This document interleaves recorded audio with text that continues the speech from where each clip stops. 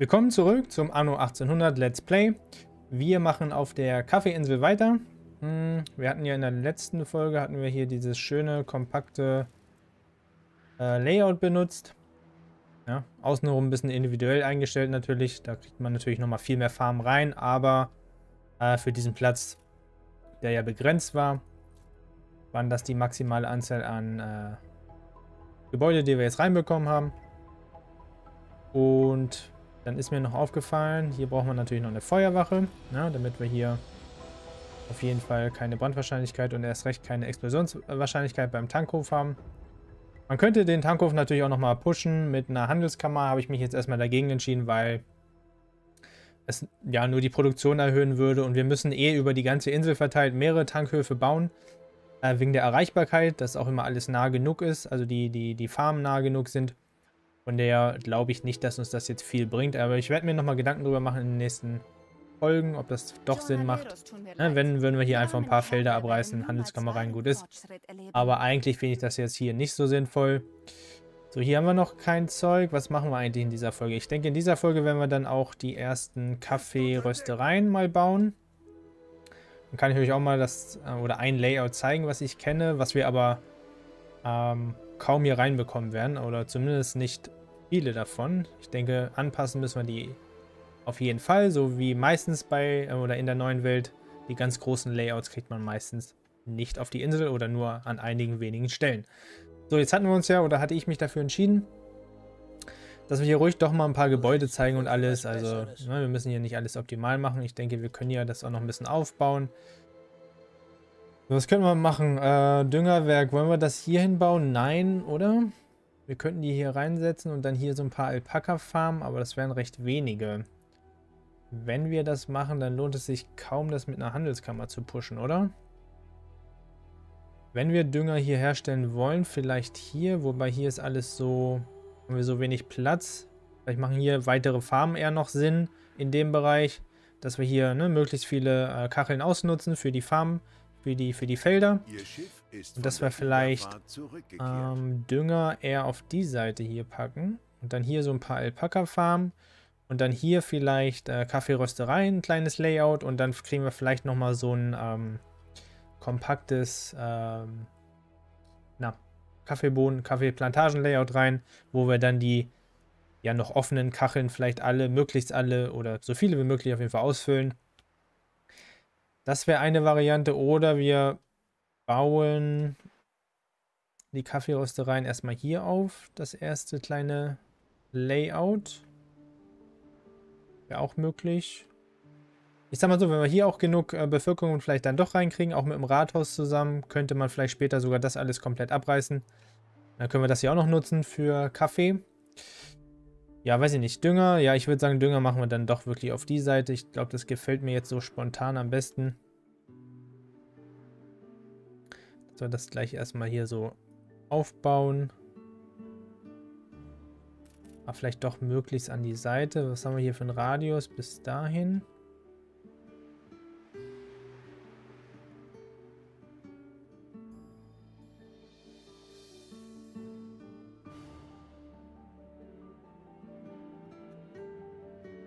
Hm, vielleicht so.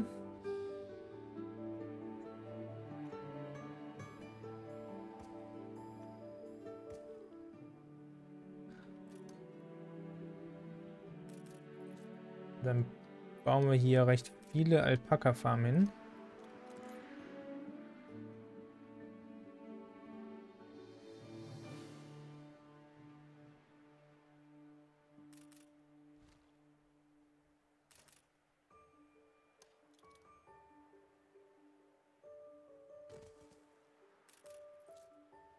Was sollen wir denn reinkriegen? Hier wahrscheinlich noch so eine Reihe.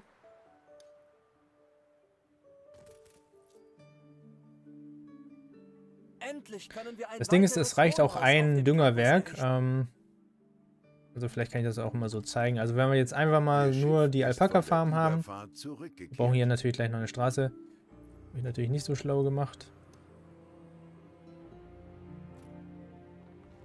So. Mal so. Ähm, so, Alpaka-Farm, ne, laufen ganz normal. Bei 100% könnte man natürlich auch ein normales Silo an anschließen. Äh, wenn wir jetzt das Düngerwerk bauen, dann sehen wir gleich, dass die Alpaka-Farm eben noch ein zusätzliches äh, Item produzieren.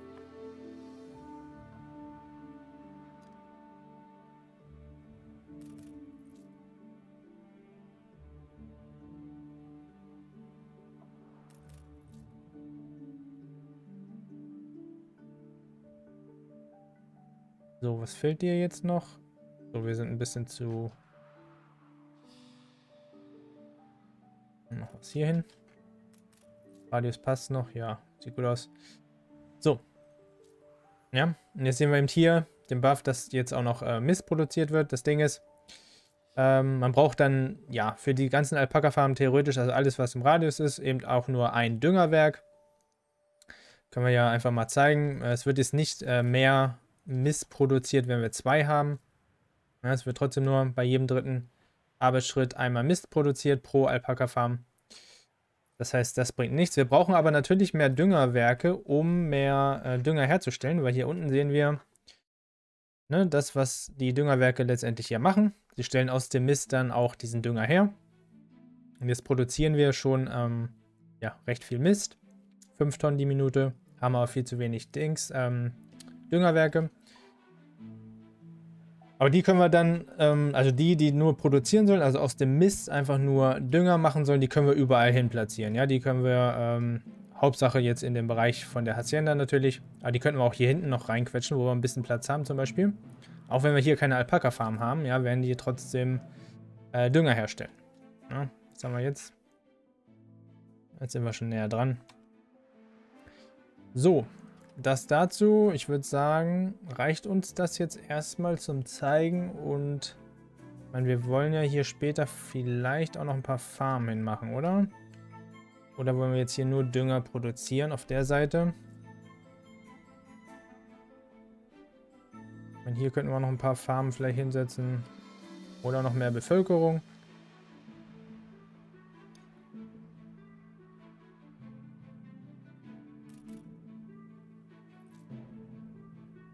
Ich reiß das jetzt einfach mal ab hier.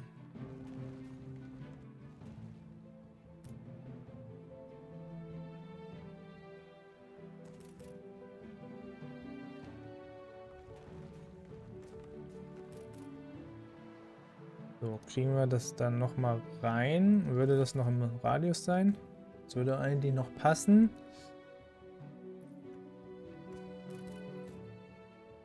Na, das sieht doch ganz gut aus. Was haben wir dann für eine Produktion an Mist? 9 Tonnen die Minute. Ich bezweifle, dass das dann für die ganze Insel reicht. Hm. Wir können das natürlich und werden das dann später auch noch mit einer Handelskammer natürlich ähm, verbessern. Können wir schon mal hinsetzen. So, meine Frage ist jetzt nur, wie machen wir das? Na gut, hier werden wir eh nicht mehr viel hinbekommen. Wir könnten hier noch ein paar Farmen dann hinsetzen, vielleicht auf die Seite, die hier rauslaufen, aber da die eh nicht so viele Felder benötigen, lassen wir die Farm vielleicht auf der Seite auch einfach weg. Dann haben wir jetzt auf jeden Fall schon mal ein bisschen äh, Produktion. Das ist doch schon mal in Ordnung. Ja, dann machen wir jetzt hier wirklich nur noch mehr Bevölkerung, würde ich vorschlagen.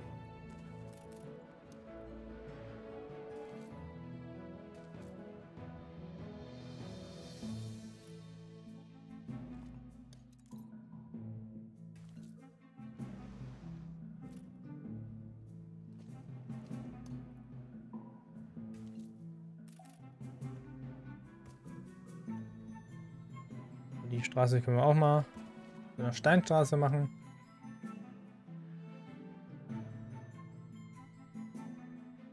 So, hier. So, der hat da keine Verbindung mehr. Okay, machen wir das Ganze so.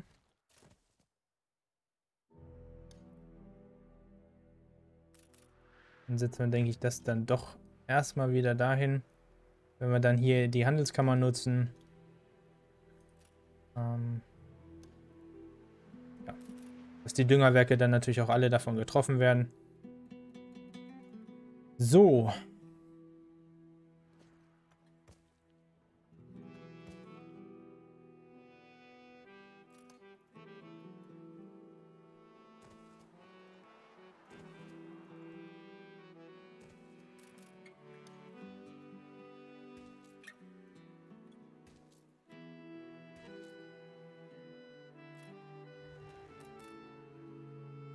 Dann können wir mal gucken. Kriegen wir hier auch ein Rates gut rein? Bestimmt. Ja, vielleicht wirklich direkt da an die Position.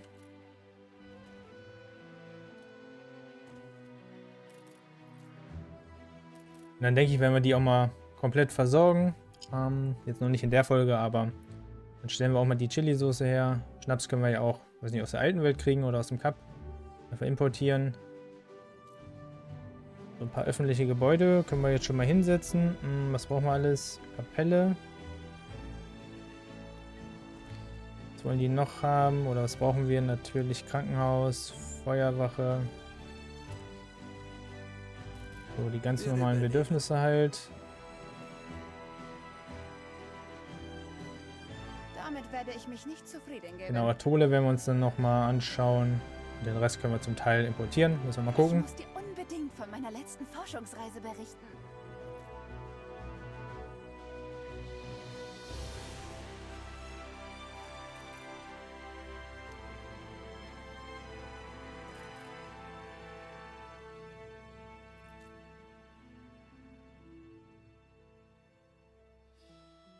Genau, sieht doch so eigentlich ganz gut aus.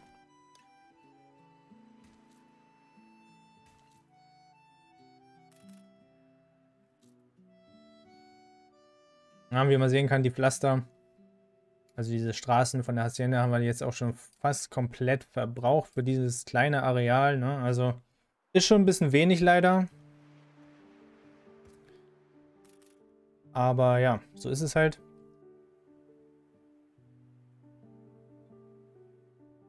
So, dann müssen wir auch mal schauen. Wie machen wir das mit den Schienen? Hm, wir brauchen später natürlich höchstwahrscheinlich hier noch irgendwo einen Tankhof. Hier werden wir vielleicht einen hinbauen.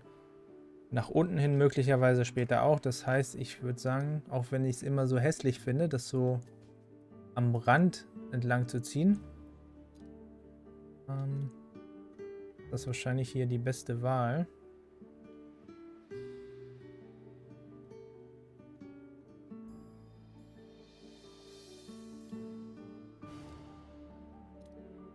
Na, warum machst du das nicht richtig?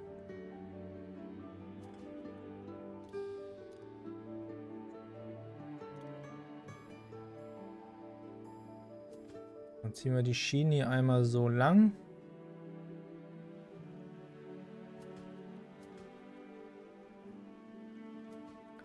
Ja, dann können die später hier rüber und auch, weiß nicht, vielleicht der Straße entlang nach unten laufen. Braucht man das hier alles nicht. Straße können wir dann auch hier lang ziehen.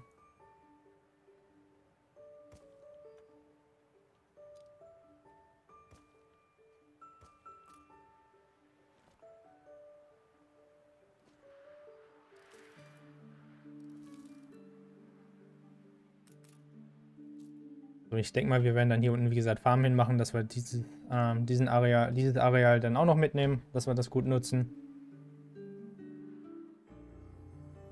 Genau. So, das ist schon mal in Ordnung, würde ich sagen. Dann mache ich hier mal nochmal, lege ich nochmal eine Straße lang. Und dann würde ich sagen, versuchen wir hier, ich überlege gerade, versuchen wir hier noch eine Dings? Ne, das wäre ein bisschen zu viel Platz, ne? Hm. Ob wir hier Kaffeeröstereien-Layout schon hinsetzen, eins, kleineres. Und dann drumherum farmen. Ne, ich denke, wir werden es anders machen. Wir nehmen dann einfach so ein Layout auf der rechten Seite, packen das hier noch rein, wenn dann und versuchen alle Kacheln zu füllen. Dann werden wir vielleicht das erste Layout für die äh, Kaffeeröstereien ja, hier hinsetzen. Endlich können wir ein weiteres Wohnhaus auf dem Campus errichten. So gut es geht. Ich kann ja einmal zeigen, wie, wie so ein maximales Layout aussehen würde. Haben wir hier ein bisschen Platz. Konto kann ich mal kurz upgraden. Brauchen wir mal ein bisschen mehr Platz hier, ne? Das sieht doch eigentlich ganz gut aus. Schauen wir uns das mal an, wie so ein Layout aussehen könnte. Vollständiges. So, Kaffeeröstereien. Blaupausenmodus.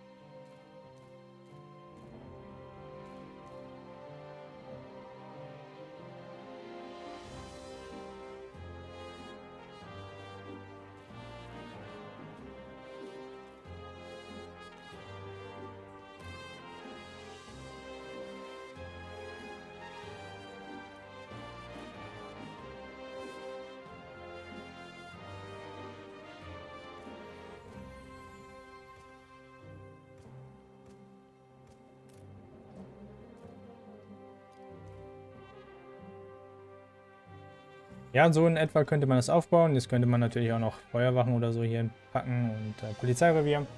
Lasse ich jetzt mal weg. Aber so kriegt man halt re relativ oder ja, doch ziemlich viele Kaffeeröstereien äh, in den Radius einer Handelskammer. Aber so ein großes Layout, wie gesagt, kriegt man auch in der neuen Welt sehr selten eher auf die Insel. Ich meine, hier haben wir echt eigentlich viel Platz auf dieser Insel. Aber auf unserer Insel haben wir jetzt nicht mehr so viel Platz, also so, so große Areale, die frei sind. Wir können uns das mal anschauen.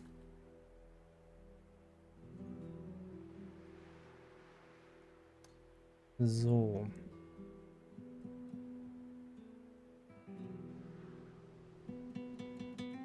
Hier hatte ich ja ursprünglich gedacht, hier würde es reinpassen. Allerdings hätten wir dann kein, kaum noch Platz, dass wir da noch Felder durchziehen könnten. Von der gefällt mir das nicht. Ansonsten könnten wir auch einfach den kompletten Bereich mit, mit Kaffeeröstereien voll machen. Das wäre auch möglich. Dass wir da überhaupt keine äh, Farmen mehr hinbauen. Ähm, wir müssen jetzt auf der Insel ja auch nicht unbedingt jede Kachel benutzen, also...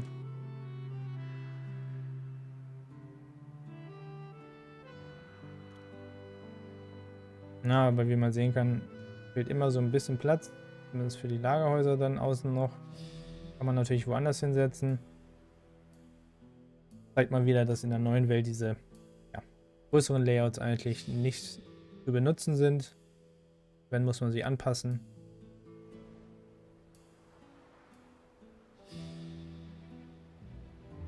Dann haben wir die Handelskammer da.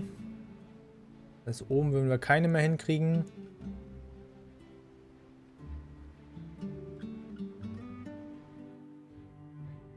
Wie sieht es hier aus?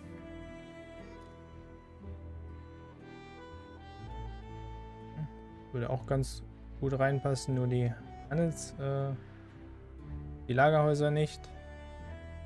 Ist nicht so schlimm. Hm, ich kann mich irgendwie nicht so richtig entscheiden gerade.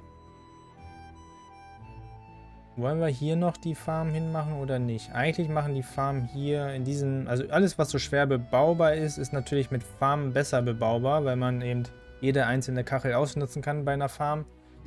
Weil man da einfach die Felder langziehen kann. Ja, zum Beispiel hier unten auch. Hm.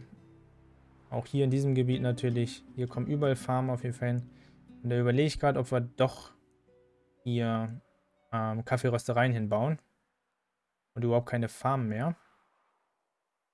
Das wäre eigentlich auch in Ordnung.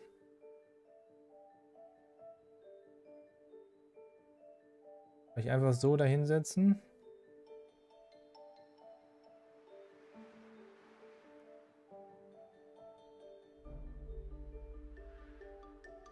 Wieso nicht? Geht die Straße durch? Ja, die geht außen durch. Das heißt, wir haben die Verbindung. Wir brauchen keine Schienen dann mehr auf der Seite, weil wir keinen Tankhof mehr benötigen, weil wir dort keine Farmen haben.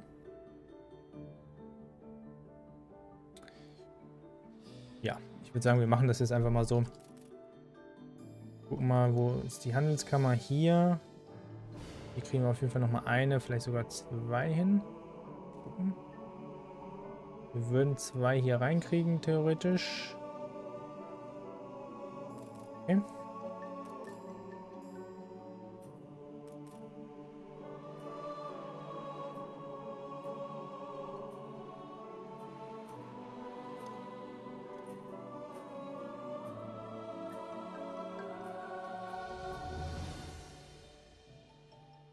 Eins, zwei, drei, vier, fünf, sechs. Vielleicht hier noch irgendwo eine, ein Lagerhaus mit rein. Dann bauen wir das Ganze mal auf.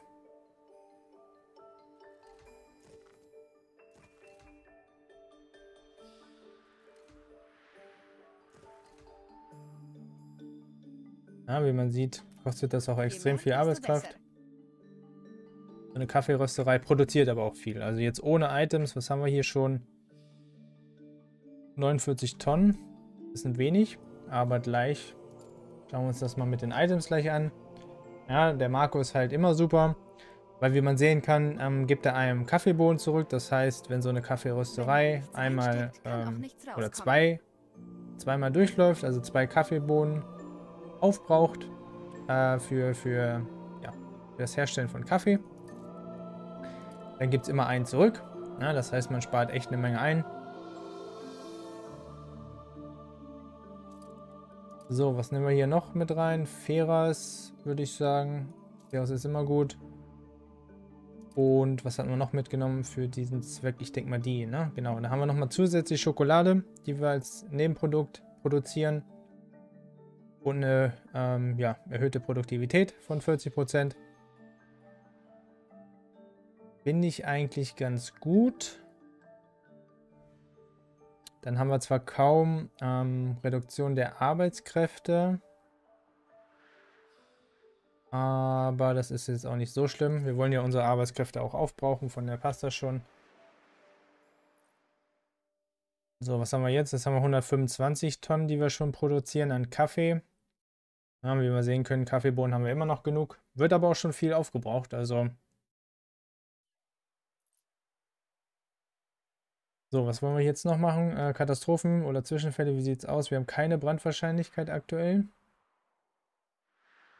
Ist das schon bei voller Produktivität? Nee, ne? Es fährt noch alles hoch. Genau, hier haben wir jetzt eine hohe Brandwahrscheinlichkeit. Ähm, solange keine Explosionswahrscheinlichkeit herrscht, ist es nicht ganz so schlimm. Solange man eine Feuerwache in der Nähe hat, die das Ganze dann auch löscht.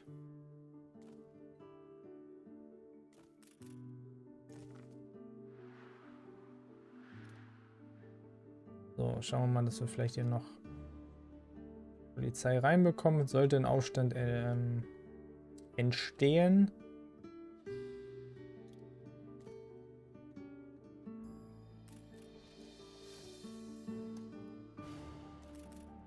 So. Schau, schau. Der Kommissar geht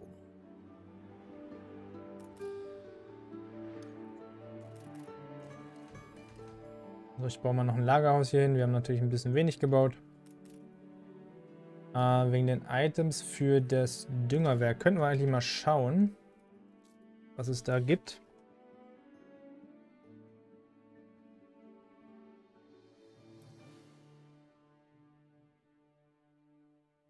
Neue Items wurden ja nicht hinzugefügt, aber es gibt echt viele, die hier wirken, wie ich gerade sehe.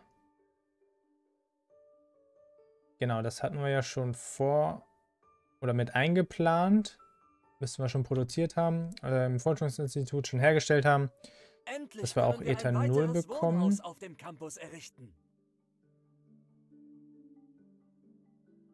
Genau. Was haben wir hier noch? Das lautet Glocke würde auch wirken für äh, Arbeitskräfte natürlich. Genauso wie der Human Inkarnateur. Alles gut. Läuft das Ding mit Strom? Nein. Nee, läuft nicht mit Strom. Ähm, werde ich mir nochmal überlegen, welche, welche Items wir da genau dann sockeln werden.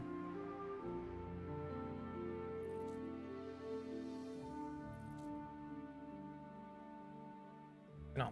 Schauen wir mal. Dann haben wir jetzt auf jeden Fall schon mal die erste Kaffeeproduktion. Wir könnten auch gleich schon mal eine Handelsroute einrichten. Warum nicht? Dann kommt davon auch schon mal eine Menge in äh, Crown Falls an, würde ich sagen. So, wir wollen eine Transferroute haben zwischen Cup und der neuen Welt. Hatten wir noch keine? Hatten wir noch nicht.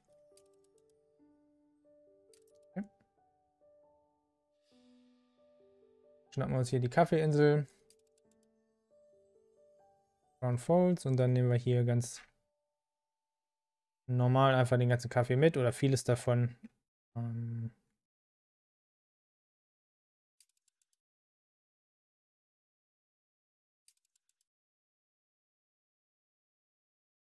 Hier dann alles rausschmeißen in Crown Falls und zur Not über Bord schmeißen. Dann nehmen wir mal gleich, weiß nicht, vier Schiffe vielleicht mit.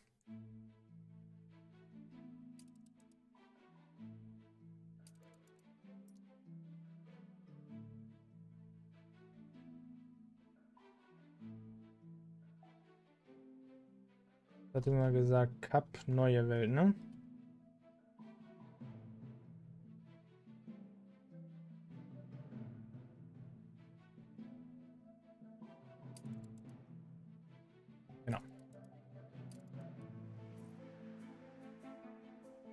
So, was haben wir für einen Bedarf in Crown Falls? Das schaue ich mir auch gleich mal an, ob wir dafür zumindest schon genug produzieren. Wir haben Kaffeebedarf von, ach so, gerade mal 79 Tonnen. Ja, haben wir locker. Das haben wir locker. Wo ist jetzt die Insel? Hier ist die Kaffeeinsel. 125 Tonnen, die wir produzieren aktuell. Das heißt ja auch, wir können in Crown Falls jetzt schon ähm, den Import von Kaffee rausnehmen.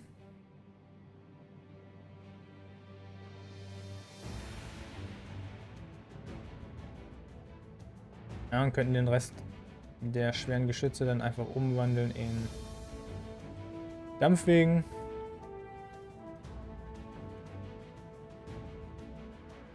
Und gut ist.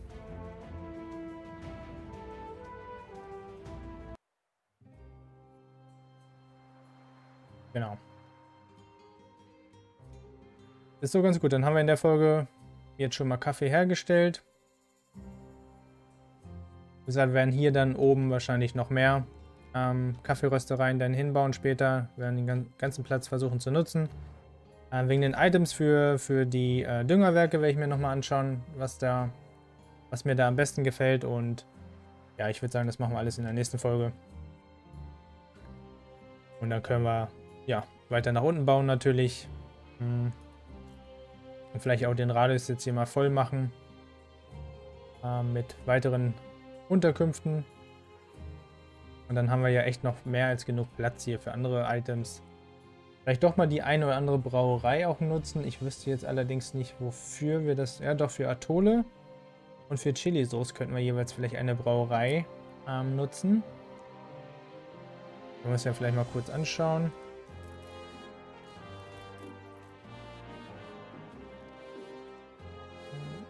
Auch Atole eigentlich alles.